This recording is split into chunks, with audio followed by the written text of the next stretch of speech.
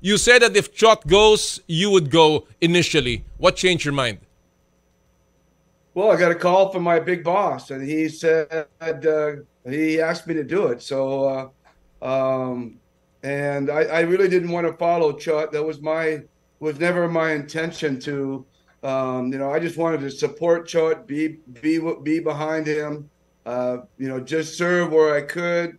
It was never my intention to take over for him, and uh, I made that clear to him. And and when he resigned, I was I was 100% sure I, I, really didn't want to be in that position to follow him. Mm-hmm. Um, mm-hmm. I was willing to work at any other, you know, if he wanted me as an right. uh, assistant coach or consultant, fine.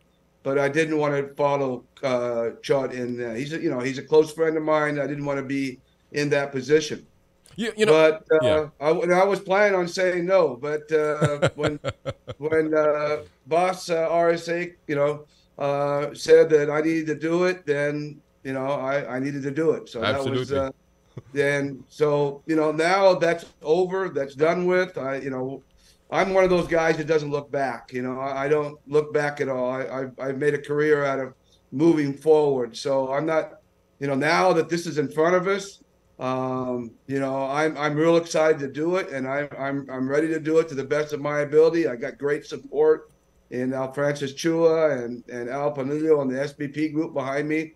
Um, so we're excited. You know, we're still trying to put the lineup together, but we're we're I'm excited to do it now. Well, you know, you're not new to the job. This is your second time to be handling the national team in the Asian Games, and of course, you were the last team that actually won a medal in the Asian that was Games. 45 years ago. I know, 45 years ago. It now, doesn't seem like this is my second 25 years ago. Like my first time again. But are you, uh, you know, since you're not new to the job, you know what is uh, what it entails are you at all afraid, Tim? Concerned?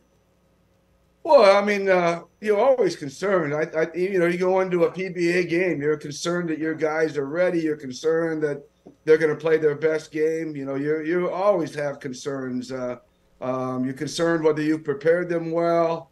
Um, you know, whether somebody's not going to get injured or something. There's you're always concerned. That that that's that's that's not the uh, that's not ever an issue.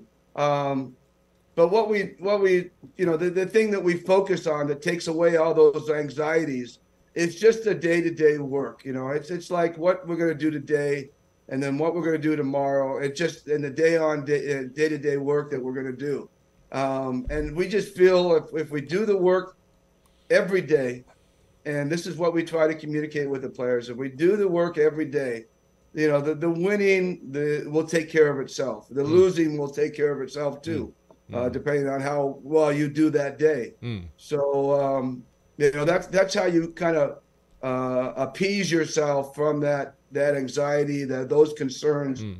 you just stay with what's right in front of you. Focus right there. And uh, you know if you be, give your best effort every day and, and then you know you're going to give your best effort when it when it when it's when it's important